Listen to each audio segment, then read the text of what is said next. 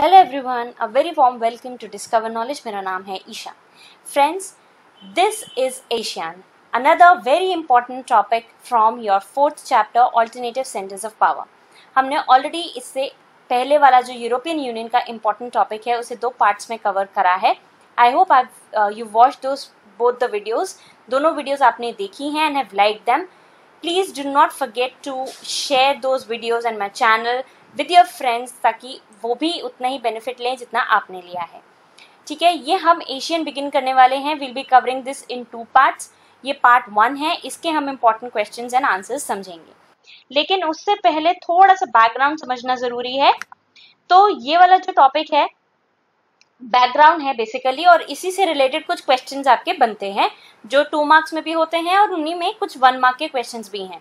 अब आपको पता है कि वन मार्क के क्वेश्चन एमसीक्यू फॉर्म में ट्वेंटी आएँगे अब आपके लिए तो वन मार्क पर उतना फोकस करना ज़रूरी है राइट right? तो हम थोड़ा सा बैकग्राउंड लेकर चलेंगे एंड उससे रिलेटेड कुछ क्वेश्चन देखेंगे। यहाँ पे आप देखोगे कि जो साउथ ईस्ट एशिया का जो पोर्शन था, काफ़ी वनरेबल सिचुएशंस में था post the second world war या सेकेंड वर्ल्ड वॉर के डायरेक्शन में। क्यों? क्योंकि बहुत ज़्यादा इकोनॉमिक लॉसेस थे। वनरेबल था, मैंने वनरेबल क्यों कहा? वनरेबल इसलिए कहा क्यों? क्योंकि ये ऐसे नेशंस थी जो जिन्होंने काफ़ी सफ़र किया। सफ़र किया और इस सेंस में सफ़र किया कि हमेशा कॉलोनीज बनी रहीं। ठीक है आइदर ब्रिटिशर्स के हाथों आइदर जापानीज के हाथों, ये हमेशा कॉलोनी बने बने रहे और एक्सप्लॉयट होते रहे। कॉलोनी मतलब क्या? जैसे इंडिया ब्रिटिशर्स की कॉलोनी थी। इसी तरीके से वो अपने आप को एक्सप्लॉयट होते रहे। राइट तो काफ़ी इकोनॉमिक लॉसेस थे। यहाँ पे। आप देखोगे पॉवर्टी बहुत ज़्यादा थी। अनएम्प्लॉयमेंट काफ़ी था इन इन नेशंस ने post the second world war ये सारी चीज़ें इन्होंने फेस करी कि पॉवर्टी बहुत ज़्यादा थी अनएम्प्लॉयमेंट बहुत ज़्यादा था। नेशन बिल्डिंग की प्रॉब्लम थी, जैसे इंडिया के पास भी एक नेशन बिल्डिंग की प्रॉब्लम थी, आपको पता ही है राइट और साथ ही साथ में एक बहुत ही ज़्यादा प्रेशर था कि अब ये जो सेकेंड वर्ल्ड वॉर के बाद दो वर्ल्ड बन गए हैं बायपोलर वर्ल्ड बन गए यूएसए है यूएसएसआर है। और दोनों ही चाहते हैं कि कोई ना कोई कंट्री हमारा पार्ट बने। तो एक प्रेशर भी था वर्ल्ड की तरफ़ से भी एक प्रेशर था ठीक है? कि हम इन दोनों ही कंट्रीज़ का कुछ पार्ट बने। तो ये काफ़ी प्रॉब्लम्स जो हैं वो इस पर्टिकुलर एरिया ने एक्सपीरियंस करी। ठीक है? अगर हम बात करेंगे तो इस टाइम पे जितनी भी world war, second world war हुई इससे पहले जो फ़र्स्ट वर्ल्ड वॉर हुई, ठीक है? ये जितनी भी कंट्रीज़ थी, जो कॉलोनीज बनी हुई थी, ब्रिटिशर्स की जापानीज की, उनको बिना उनसे पूछे, उन्हीं की आर्मी उनके पैसा लेकर के उनको वॉर में डाल दिया गया, चाहे उनका कोई कनेक्शन था नहीं राइट तो ये उनके एक्सप्लॉयटेशन क्या है? ये तरीके से एक एक्सप्लॉयटेशन ही है राइट तो ये आपको पता होना चाहिए कि ये एशियन जो बना, उसका बैकग्राउंड क्या है? क्या रीजंस रहे हैं उसको बनाने के? और उसी से रिलेटेड आपका एक टू मार्क का क्वेश्चन भी आता है, वो हम देख लेते हैं। जैसे, what were the problems that were faced by the region of south east asia post the second world war? Second world war के बाद, जो साउथ ईस्ट एशिया का जो रीजन है साउथ ईस्ट एशिया एक कॉन्टिनेंट है, उसमें ही सदर्न और ईस्टर्न पोर्शन वाला जो एशिया का पोर्शन है, उसमें क्या क्या प्रॉब्लम्स उन्होंने फेस करी? जैसे अभी मैंने आपको बताया, है ना? तो आप यही चीज़ लिखोगे जैसे मैंने यहाँ पे लिखी है right the region of South East Asia suffered और the it faced repeated colonialism colonialism क्या? वही कॉलोनीज बनना। एंड हेंस और उसी की वजह से बहुत ज़्यादा बैकवर्ड था। पहली प्रॉब्लम जो उन्होंने फेस करी नेशन बिल्डिंग की प्रॉब्लम थी। सेकेंड थी पॉवर्टी की प्रॉब्लम क्योंकि बहुत पुअर कंट्रीज़ थी इकोनॉमिकली काफ़ी वीक कंट्रीज़ थी और वहीं अगर आप उनको बिना पूछे इन already weak economically weak countries को आप वॉर में डाल दो, ठीक है? वॉर में इम्प्लॉय कर दो तो वो तो और ज़्यादा बैकवर्ड हो जाएँगे ना इकोनॉमिकली तो इसीलिए पॉवर्टी की बहुत बड़ी प्रॉब्लम थी। इकोनॉमिक बैकवर्डनेस था और साथ ही साथ में एक प्रेशर था कि किसी ना किसी सुपर पावर से अलाइन होना है, ठीक है? और यही अगर हम थोड़ा सा, ये तो हो गया आपका बैकग्राउंड यहाँ पे बहुत ज़्यादा ज़रूरी है, आपको पता होना चाहिए कि एशियन की फुल फॉर्म क्या है। Association of South East Asian Nations ये एक बहुत इंपॉर्टेंट क्वेश्चन है from a one mark point तो ये आपको पता होना चाहिए। क्लियर दूसरा क्वेश्चन देख लेते हैं, ये भी कुछ वन मार्क से ही रिलेटेड क्वेश्चन हैं। जैसे आपको पता होना चाहिए कि कौन कौन से नेशन थे या कौन कौन सी कंट्रीज़ थी जिन्होंने मिलकर के एशियन बनाया। जैसे हम नाम भी आगे पढ़ेंगे नाम में भी काफ़ी कंट्रीज़ ने मिलकर के नाम बनाया।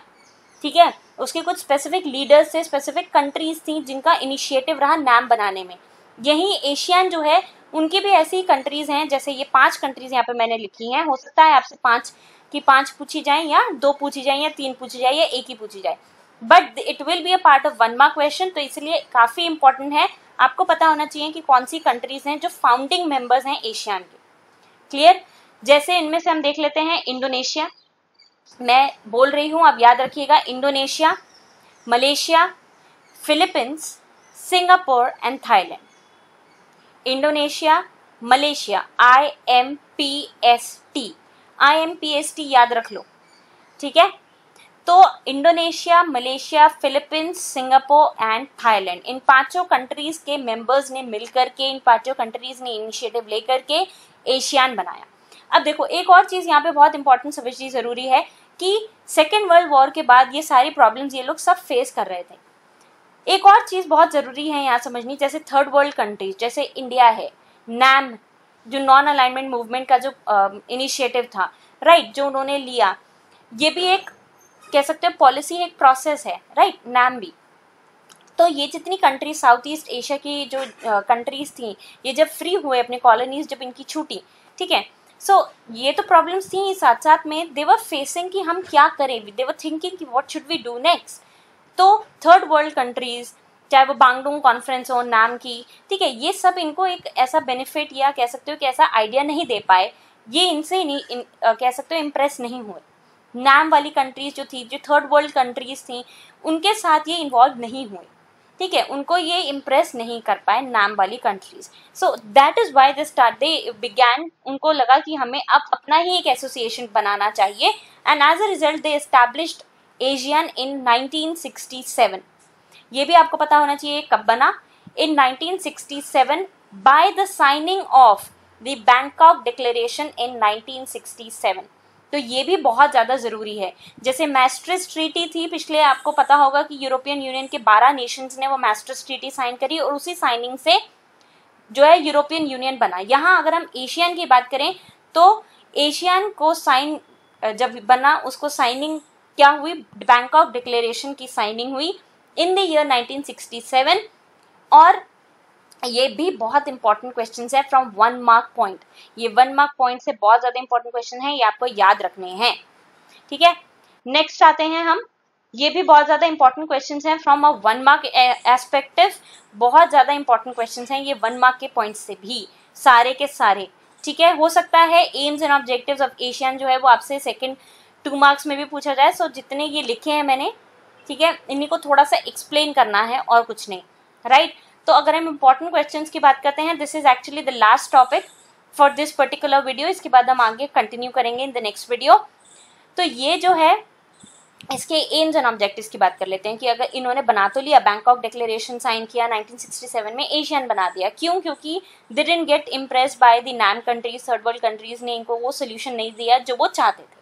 Right and as a result they found ASEAN और कौन कौन सी कंट्रीज़ थी? Indonesia Malaysia Philippines Singapore and Thailand तो इसी तरीके से आपको भी याद रखना है।